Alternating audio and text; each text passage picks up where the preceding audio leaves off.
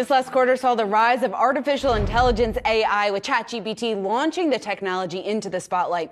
But with many of tech's biggest players working on AI products of their own, who are the winners and what's the investment opportunity there? To discuss this, we want to bring in Will Summerlin. He's ARK Invest co-lead and analyst. Will, it's great to see you again. So during this earnings season, our colleague Josh Schafer was just saying that of the big tech companies, AI was mentioned over a hundred times on the earnings call. What was your big takeaway from all this hype surrounding AI?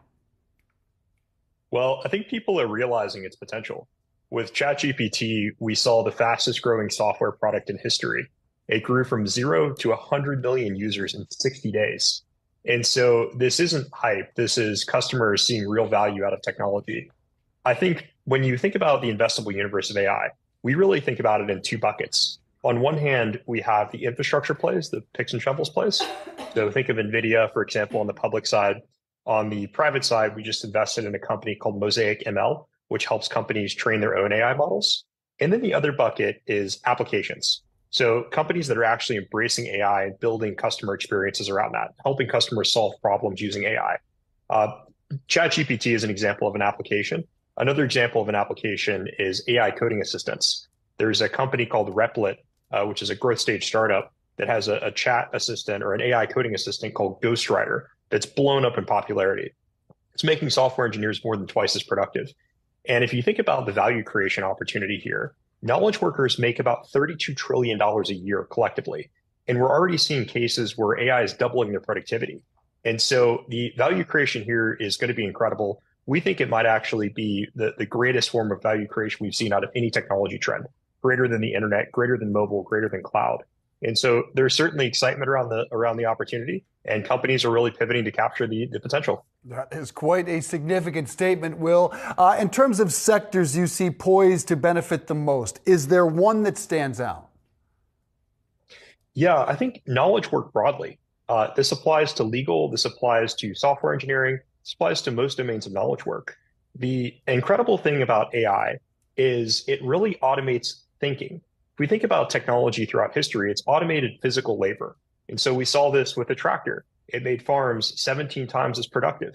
And we're starting to see this with knowledge work, where AI is actually helping us do tasks that require a lot of thinking. And so software engineering is probably the best example we've seen so far. Uh, we're seeing applications like Replit Ghostwriter. We're also seeing this from GitHub, GitHub Copilot, more than double the productivity of software engineers. And you know that's a, a class of knowledge workers that's highly paid uh, $200,000 a year software engineer that gets double the productivity all of a sudden because of an AI coding assistant. That's incredible. We're also seeing this in legal, right? We're seeing assistants in legal that reduce the cost of uh, you know, contract reviews by 70, 80, 90%, because instead of having a human go through every single line in the contract, you can use AI to do the review and then a human just to look at the things where there may be issues. And so we think this is going to apply broadly. Uh, there are also areas where there is significant cost savings potential. And so if we think about contact centers, for example, uh, labor in contact centers is challenging. Uh, it's a it's a relatively um, unsatisfactory job, and so the churn is very high. Uh, in many cases, the churn is over 100%, meaning people actually don't stay an entire year once they join a contact center staff. Uh, so you train an employee, and then three, four, five months later, they leave. That's an area where it's ripe for automation. We're starting to see companies like Twilio embrace that opportunity and build AI models to really automate contact centers. And so I think this is going to touch pretty much every form of our life or every part of our lives and pretty much every form of human labor. So, well, it sounds like you think it's going to have a significant impact on the job market. What's the extent of that? You know, if you look at technology throughout history, everyone always says that technology is going to lead to mass unemployment. And that's not been true in the past. Technology has always led to a higher quality of life. It's actually spurred job growth. And I think the same thing is going to happen here. Humans are creative beings. And when we're able to get leverage over our time with technology, we find ways to create value. And so I think ultimately this will actually lead to a higher quality of life and probably an accelerant to job growth. Well, you've got some winners, and we have to ask you about Tesla and their advantage in this space.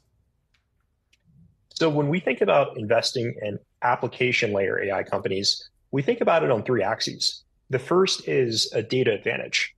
Can they develop a data advantage that allows them to train superior AI models? Um, and really outcompete their competitors. That's an advantage that grows with scale. And so, like network effects, the more data you have, the better your models become. The better your models, the more customers you get. The more customers you get, the more data you get. And this flywheel sort of continues. We've seen that with Tesla. They have billions of miles uh, recorded through their, their full self driving uh, suite.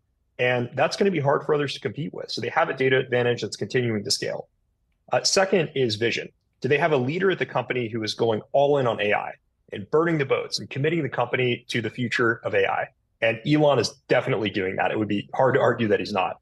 And third is distribution. Do they have a distribution advantage that they can leverage to deploy AI capabilities? Tesla certainly does. They already have a large fleet of vehicles, and the AI uh, autopilot or full self driving capability is included as a feature in those vehicles. So it certainly meets the th- three criteria for us. Well, you're certainly making a compelling case for that. Will Summerlin, great to have you. Thanks so much.